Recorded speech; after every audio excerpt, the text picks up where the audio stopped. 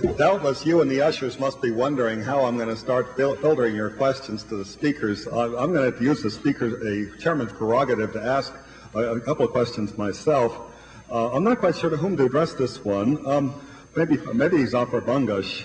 One of the major centers of revolutionary activity in the occupied territories has been the mosques.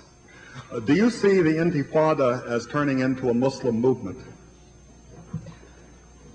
Actually, the bulk of the support or the main strength of the Intifada has been provided by the mosques and the Muslims returning to their own roots.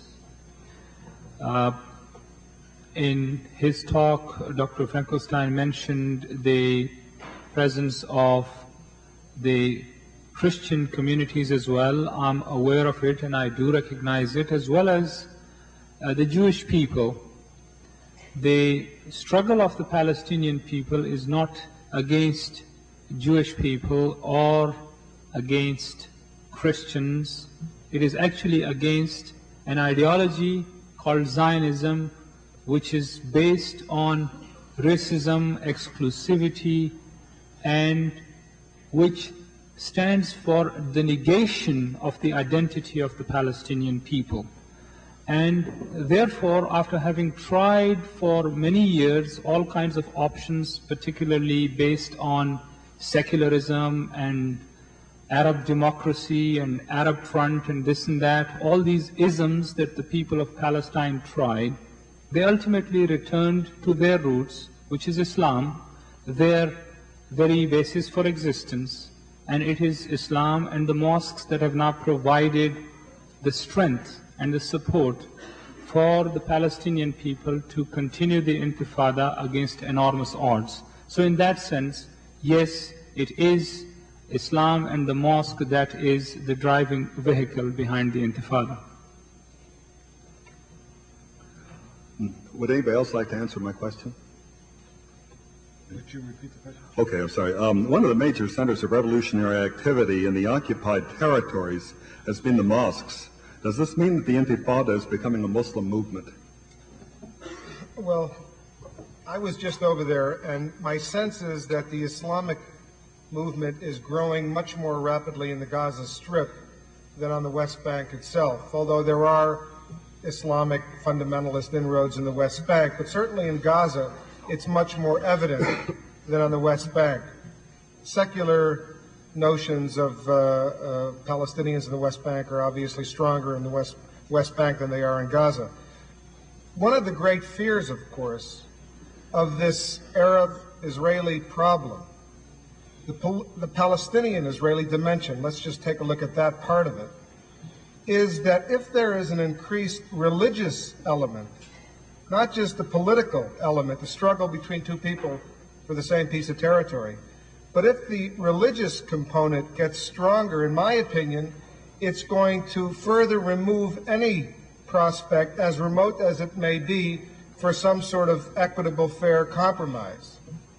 One of the scariest things that Israelis see when they go out into the West Bank, and I was a witness to it, is when you see the youngsters coming with their pockets with rocks and ready to throw them. Young kids. What they're shouting, you don't have to understand Arabic to understand what they're saying. They're not saying uh, Hebron, Nablus, Ramallah. What they're clearly saying is Haifa, Jaffa, the Galilee, El Quds. El Quds is Jerusalem. Now, if it is this dimension, the liberation of not just the occupied West Bank and Gaza, but if it is a notion that that is simply a stepping stone for the liberation of the rest of Palestine, then of course this is simply a prescription for total disaster. I was struck by Dr. Finkelstein's courage in advising the Palestinians to intensify the armed struggle or increase the use of force and violence against the Israeli military is really the only way they're going to get their state. And his courage in recommending to the Israelis that they uh, trust the PLO when they say they're ready for a two-state solution. Well, it's easy for him to say that living in Brooklyn. But it's not that easy if you're living in Israel or in the West Bank.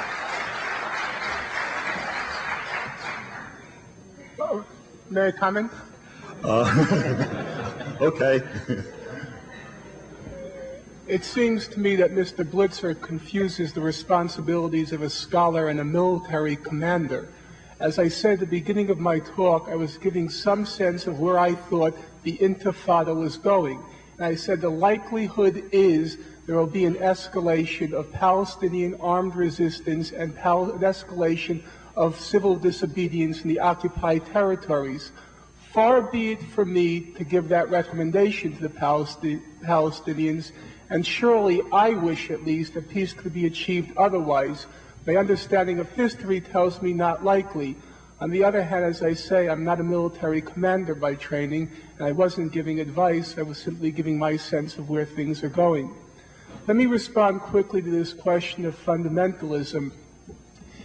In my view, and I suspect I will have major disagreements with at least one member of the panel, fundamentalism is a, an ideology basically of despair.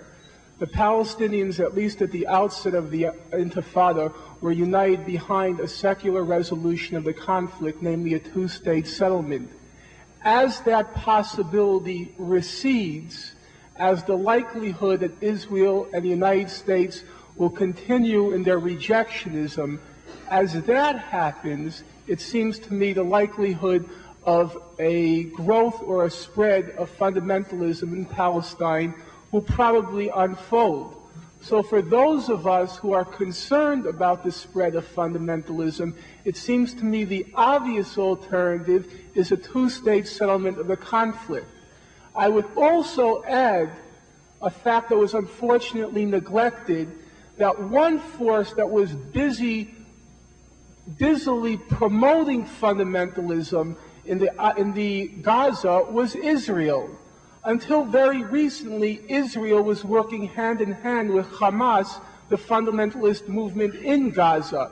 In the last couple of months, things have changed somewhat, but for those of you who read the New York Times, you'll notice that none other than Israel's Arab specialist, Clinton Bailey, recently wrote in the op-ed pages of the New York Times urging Israel to come to a settlement with Hamas, the, the Islamic fundamentalists. So it seems to me there is a kind of convergence between Islamic fundamentalism and the state of Israel against a secular resolution of the conflict.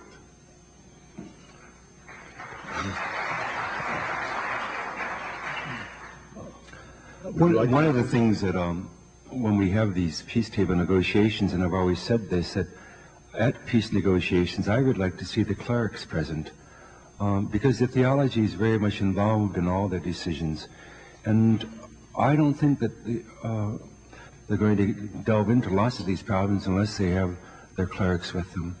I, I've been to mosques and I've been to synagogues, I've been to churches. Uh, the clerics have tremendous influence. And so when I speak about, you know, I'm, I'm looking for a secular state. Um, I'm not looking for a, a, religious state. So how do we protect that? Um, I would hope that the clerics themselves can address those issues. I face a real Hobson's choice where I'm, where I'm standing, or a Solomonic decision that has to be made because we have hundreds of wonderful questions and a limited amount of Sitzfleisch.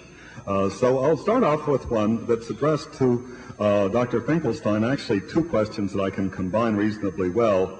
Um, uh, the first questioner asked about the legitimacy of the PLO. The questioner feels that as a terrorist organization, should it be allowed to negotiate with Israel? And the other question is, is the PLO no longer involved in terrorist activities?